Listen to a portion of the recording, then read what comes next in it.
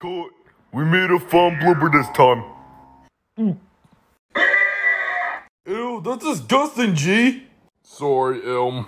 Anyways, as we were saying, you guys on TV tags have the 20th Century Fox font.